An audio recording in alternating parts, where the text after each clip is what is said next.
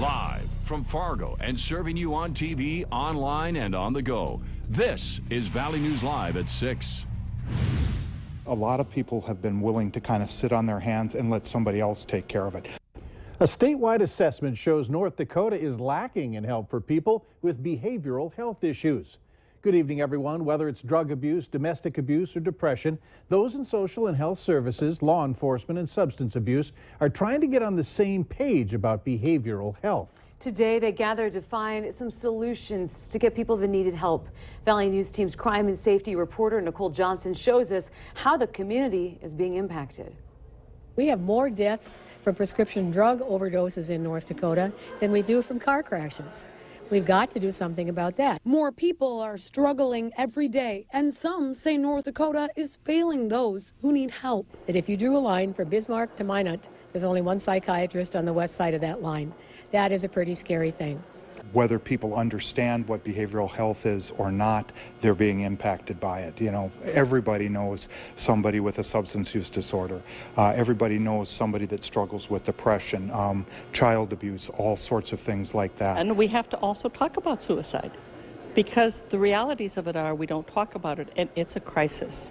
Our suicide numbers have skyrocketed with youth and with adults, and we, it's not acceptable. A group effort to prevent behavioral health issues like training teachers to notice signs of depression or abuse, and training law enforcement to notice signs of drug abuse and work with others to get them help. In the long run, it costs us a lot more to deal with somebody who needs institutional help because they've gotten so ill or to build more prisons and jails. That is not the good way to do it. A lot of people have been willing to kind of sit on their hands and let somebody else take care of it. Oh, it's the Department of Human Services' job to do that, or it's law enforcement's job, or, geez, the treatment provider should be doing that, or insurance should be helping with that. Everybody at the table is the solution. It's all of our jobs. Nicole Johnson, Valley News Live.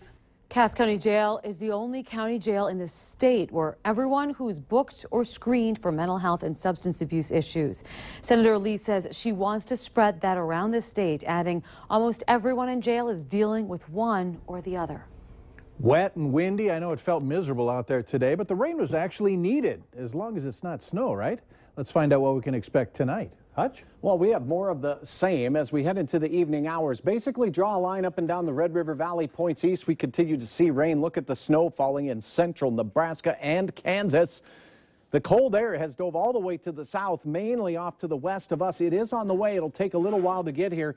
And this evening, if you're heading out, the best chance of rain again will remain to the east, although we'll have passing shower chances in the FM area this evening. Temperatures fairly steady to slowly falling.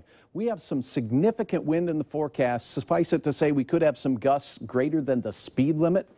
I'll have details and hour by hour forecast coming up here in just a minute on some windy weather and for some, a little bit white. All right. Thanks, Hutch. Mm -hmm. We have new developments out of Bismarck and the Twin Cities. It regards the settlement of Syrian refugees. North Dakota Governor Jack Dalrymple says the federal program needs to be stopped, and Minnesota Governor Mark Dayton fired back against governors saying no to the Syrians. Valley News Team's immigration and relocation reporter Bradford Arick joins us with more. Bradford? The fallout from Friday's coordinated attacks in Paris continues here in the states, and now nearly half of all state governors say they don't want Syrian refugees. Yesterday, Governor Dalrymple danced around the question, not giving a specific answer yes or no. That changed today. Dalrymple's office says he is taking it to the next level, addressing concerns on a wider scale, not just here in North Dakota. Dalrymple's office says he joined other governors on a conference call today with White House officials, Homeland Security, the FBI, and the State Department, all discussing their concerns.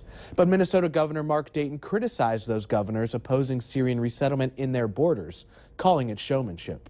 I think it's showmanship on the part of, the, of these governors uh, who pretend that they would be able to sanctify their borders so that only certain people can enter their state and, and other people can't. I, I mean, I, I want I want to protect the people of Minnesota every bit as much as any of those governors want to protect the people of their states.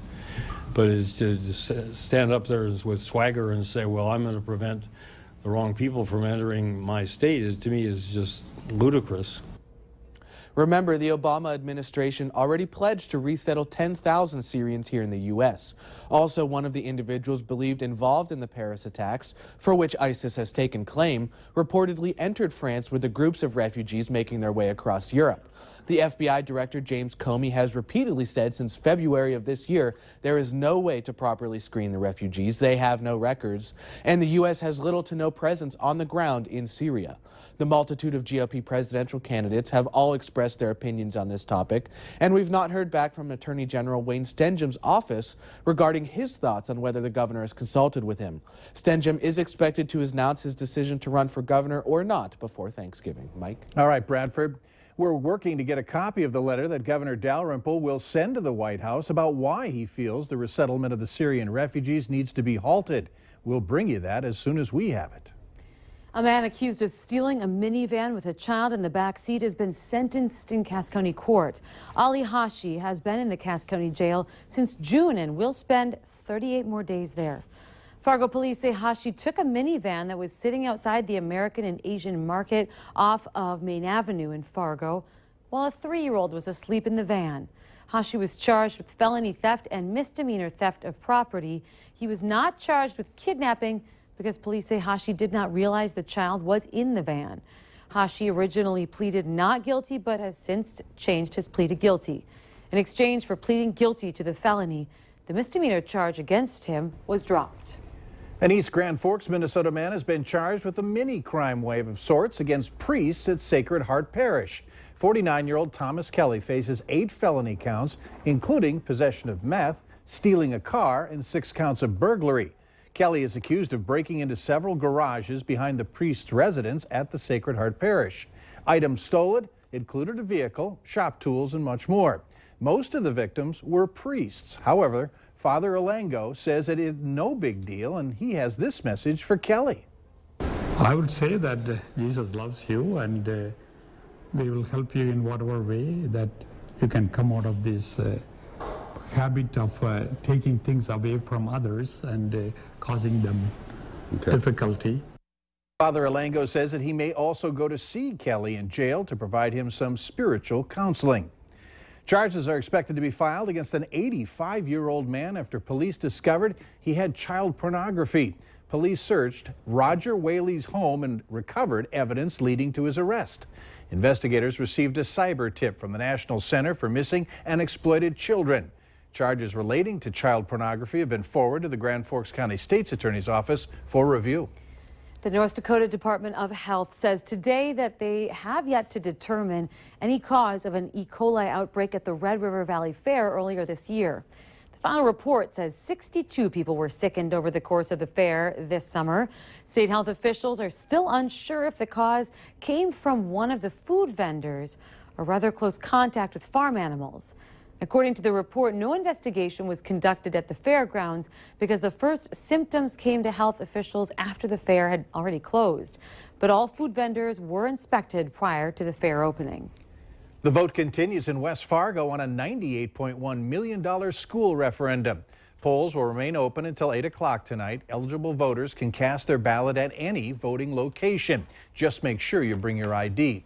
The district is looking to build two new elementary schools add on to the West Fargo High School, build a new hockey rink and a swimming pool. A yes vote will not increase school property taxes. That's according to the school district. Owners of a $150,000 home would see their property tax continue to be about $200 a year. However, a no vote means that a homeowner's taxes would drop over time because of various levies expiring. Now, we're going to have the results for you on Valley News Live tonight at 10. A newspaper man says he wants to get into the political arena. Brian Kroshus is running for North Dakota State Auditor. Right now, Kroshus is the publisher of the Bismarck Tribune. Prior to that, he was the general manager of the Farm and Ranch Guide. In announcing his candidacy today, the Bismarck Republican says while the state is still doing well, it needs to be prepared for times that are perhaps not so good. When state revenue forecasts trend downward, Government must be increasingly more efficient. We owe that to each and every taxpayer, and especially to those just starting out, raising families, or on fixed incomes. Kroshus is the first announced candidate for the post. The state Republican convention is scheduled for April 1st through the 3rd at Shields Center in Fargo. Now, if he gets party backing and wins the election, he will replace Robert Peterson, who is not seeking reelection. Family Wellness Yoga Studios in West Fargo will be closing its doors Sunday. Right now, Family Wellness members have to pay extra to take classes at the yoga studio, but staff at Family Wellness say today that the yoga studio will not be inclusive in the membership and also will be under the same roof as the gym across the street. People who are not members can still attend classes as a drop-in or can do a trial membership. The staff hopes to have a new building within the next five years. Another Tuesday means another restaurant report card coming up tonight on Valley News Live 10 at 10. Valley News Team's Christine Stamwood investigates restaurants in Fargo who need to clean up their act. Find out who they are and which one will be awarded the Clean Plate Award. I know it's only Tuesday, but how about making some plans for a family friendly event this weekend? The details to come. Most one half inch of rain in the FM area as a soggy day continues. Some serious wind is in the forecast, a few flakes for some. Your hour by hour details are coming up right after this.